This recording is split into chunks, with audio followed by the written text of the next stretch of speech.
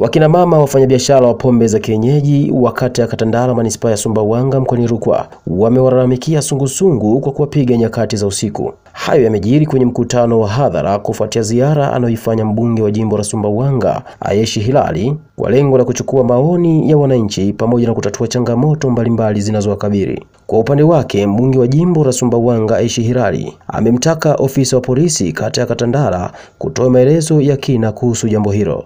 Kwa jina naitwa Sada Huseni. Mimi ni mama mjane na ni mjasiriamali wa biashara ndogondogo ndogo.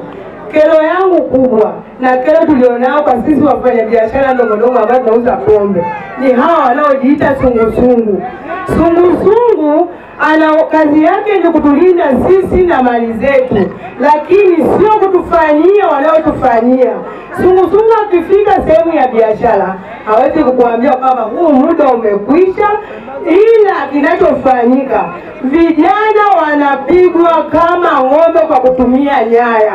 Wametengeneza mazingira ya vijana kuwa waoga, wametengeneza vijana wamekuwa walemavu, wametengeneza vijana kuwa na vidonda ambavyo ni sugu. Sasa sijajua sungusungu kazi yake ni kuniambia mama funga, au mama kaa chini nikupige, au kufanya anayotufanyia.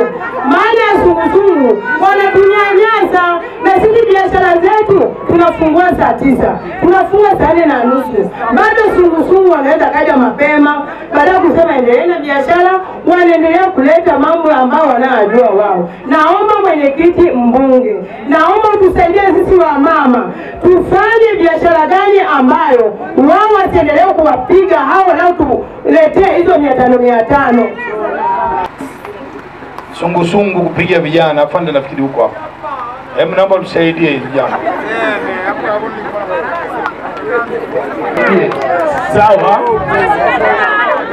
ninasema kwamba kwa sababu vijana hawa kama nilivyozungumza mwanzoni kwamba kata ya Katandala na mitaa kumi na saba niliunda kikundi sio cha sungusungu. Sungusungu ilikuwa ni zamani, ni kikundi cha polisi jamii kata ya Katandala. Kwa hiyo kila mtaa kwenye kata ya Katandala, Katandala walinipa, kila mwenyekiti alinipa vijana wawili.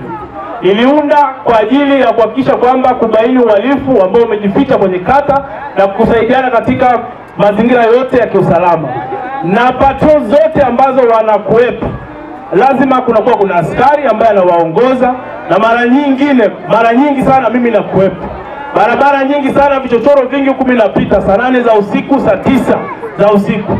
Kwa hiyo malalamiko haya yanayotolewa kwamba wamezuiliwa walipofungua saa tisa, hakuna siku ya saa tisa mchana ambao watakuja kukamatwa, lakini wale wanaofungua pombe wanaofungua vilabu asubuhi ndio wanaofuatiliwa na kukamatwa.